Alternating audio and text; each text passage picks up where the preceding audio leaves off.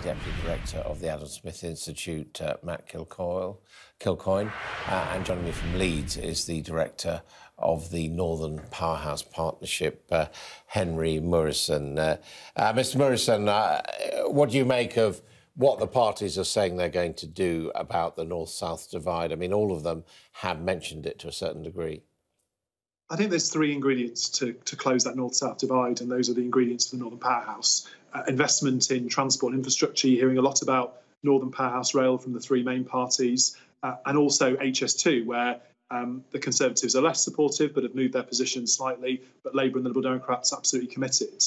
I think where it's less clear is around areas like education and skills, where we need to see further devolution. Uh, Labour have talked about devolution specifically in Yorkshire, but not more widely. Uh, you've seen the Conservatives commit to devolution everywhere. And the final ingredient, I think, is the is that wider point about uh, economic rebalancing. The North has to be a priority.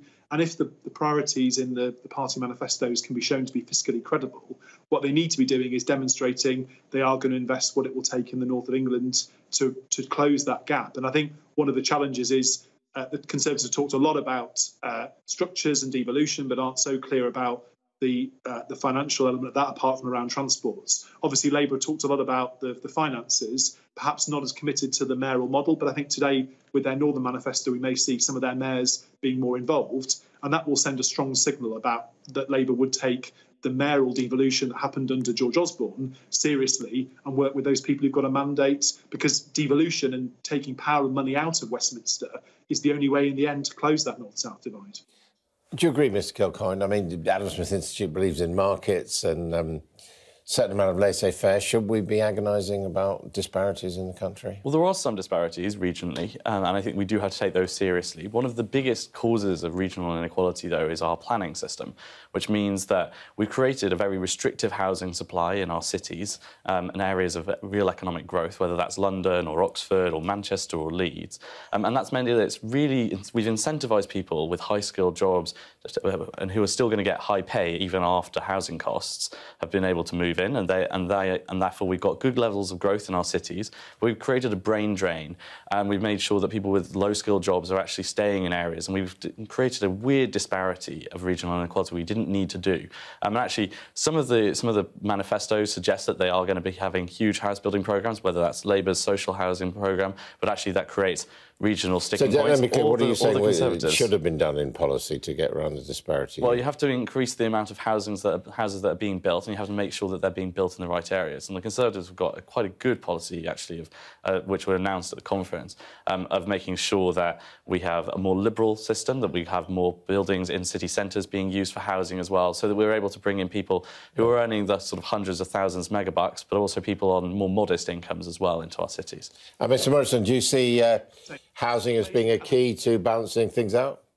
it's amazing that Adam can talk about the north-south divide and not talk about the north wants in his answer because I think that's the challenge of a Westminster-based policy elite, isn't it? So what the reality is that housing investment, 80% of the government's housing funding is currently being spent in, in London and the South East, not in places like the north of England. And if we're creating lots of new jobs in places like Manchester and Leeds, and we need to be building the right houses. I absolutely think housing is important, particularly linked to infrastructure. But the idea that simply liberalising the planning laws is going to close the north south divide is for the birds, because we're talking about a structural imbalance, which, if we corrected it, could generate an extra trillion pounds for the economy till 2050. That's a huge economic prize. And I'm surprised an economic think tank like the Adam Smith Institute isn't more committed to projects like Northern Powerhouse Rail and HS2. And on HS2, remember the Adam Smith Institute are those people in that same little bit of the Westminster bubble, all funded by the same people who don't want key infrastructure to rebalance the economy, and they well, should be embarrassed about if you, If you don't, mind, if you don't mind me saying so, because the north-south divide is, is absolutely ridiculous. If you don't mind me saying so, firstly, I'm, I'm Matt, not Adam. Secondly, I mentioned Manchester and Leeds in my response.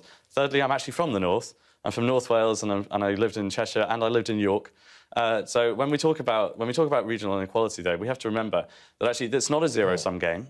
The growth in the south, the growth across the whole of the United Kingdom, does not come at the expense of growth elsewhere.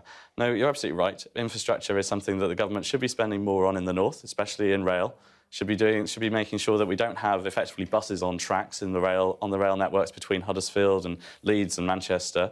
Uh, but and what about HS2? Should, HS, should but no, HS2 is HS2 is a is a white elephant project. It's it's tens of billions of pounds spent on making sure that we get from from London to Birmingham 30 minutes earlier. Well, that's only the first phase. I mean, it's designed to link up uh, to and, and to create capacity for people to get to the there north, to get to Leeds and further on. There are plenty of projects out there in the rail industry, making sure that our signals are updated, making sure that we've got newer trains up in the north, that we don't have to have high-speed rail in order to have effective rail. We just need to make sure that there are. We do have trains... to have more capacity, don't we? If we're well, exactly. to if, if, we're to link the north to the south. The biggest the biggest problem for capacity in rail is the fact that our signalling system, which is which is still part of the nationalised system, um, is is woefully underprepared for, for the modern system, and that and that is the real crux of the issue when it comes to rail. But we've also got to make sure. Well, I mean, I, I'll just say I've been travelling up and down north and south this week, and. Uh, the West Coast main line just packed up two days ago. Yeah. I mean, and, and, and uh, uh, uh, Mr. Murison.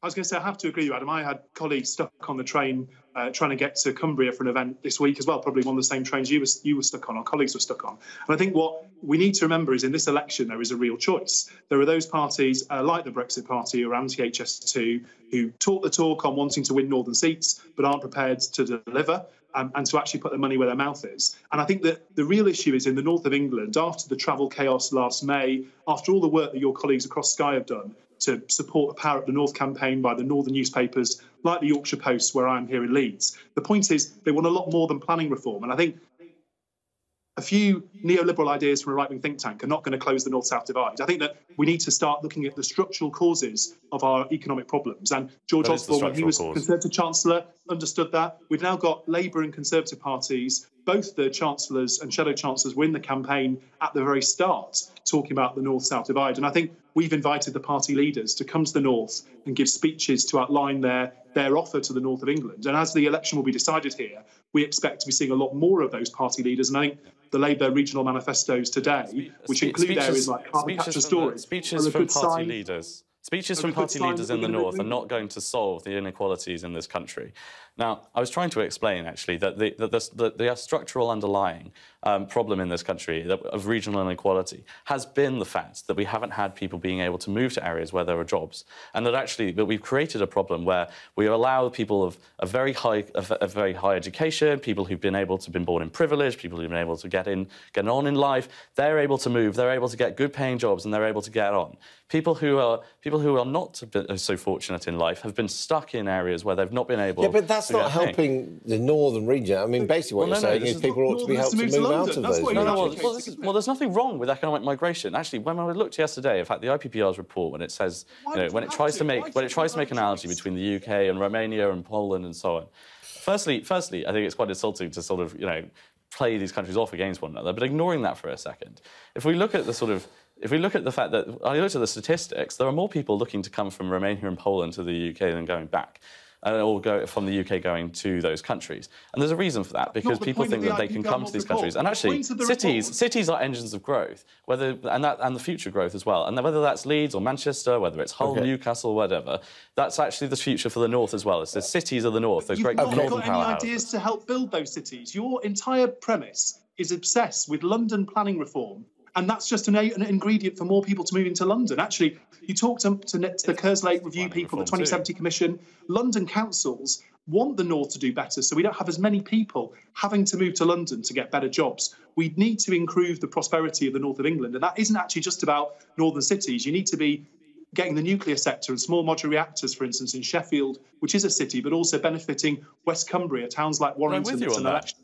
I don't know why These you created this weird antagonism. That need to be debated in this election, not just planning reform. It's absolutely ridiculous. The idea that some sort of right-wing economic only footprint is going to change the British economy. You need to have an integrated plan and industrial strategy that works. And cancelling HS2 and allowing people to build wherever they want is going to do nothing to close the north-south divide. And you shouldn't go around peddling the idea that it's That's going to. That's just not true. The, the, the Manchester is, has been restricted from building out as, and building up as everywhere else in the country because we have a one-size-fits-all planning system. I don't know why you've got this weird antagonism with the idea that I hate the north or the idea that the right-wing parties hate the north. It's just not true.